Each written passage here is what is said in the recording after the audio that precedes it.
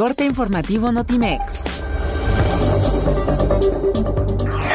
El presidente Enrique Peña Nieto lamentó el fallecimiento de personas en Ochixtlán, Oaxaca, y giró instrucciones para que, en el marco de la ley, se tomen las acciones necesarias para solucionar el conflicto en esa entidad.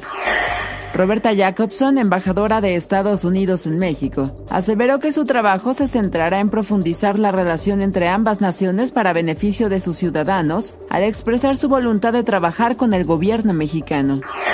El presidente nacional del PRI, Manlio Fabio Beltrones Rivera, presentó su renuncia ante la Comisión Política Permanente de su partido para permitir que una nueva dirección encabece las transformaciones que se requieren y reiteró que se necesita una profunda reflexión de los resultados de los comicios.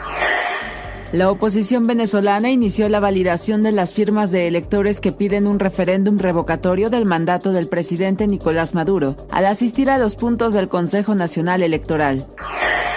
La cantante sinaloense Chayito Valdés murió la madrugada del 20 de junio a la edad de 70 años a causa de un paro respiratorio en San Diego, California, en donde se encontraba desde hace años internada en una clínica.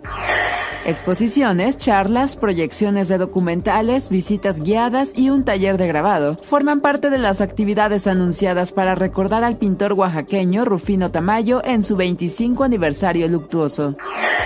La selección de Inglaterra se dio el liderato del Grupo B de la Eurocopa 2016, luego de empatar sin goles contra Eslovaquia, por lo que en octavos de final podría encarar al segundo del Grupo F como Portugal o Islandia. Notimex. Comunicación Global.